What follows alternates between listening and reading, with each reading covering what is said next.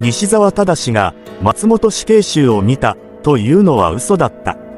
逮捕の決め手となった目撃証言が覆されたことで、最新は現実味を帯び、エナは再び奮い立つ。さらに、拓郎が掴んだこの事実は、かつて報道局に在籍していた村井の魂にも火をつけ、ことがことだけに報道部に任せるべきだというエナや名越の言葉をよそに、村井は、フライデーボンボンで大々的に報じると宣言する。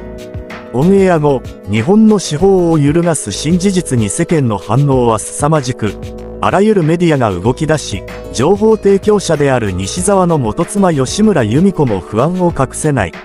さらに、エナたちの考えがいかに甘かったかを思い知らされる、取り返しのつかない事態が起きてしまう。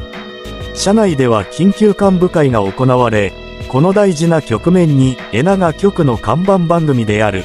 ニュース8に、事件を追っていた記者として出演することが決まる。本来なら古巣への凱旋出演を喜ぶところだが、エナの中には、斉藤が副総理大臣の大門とつながっていると知った時から、ある疑念が。その不安を払拭するべく、エナは出番を待つばかりであった。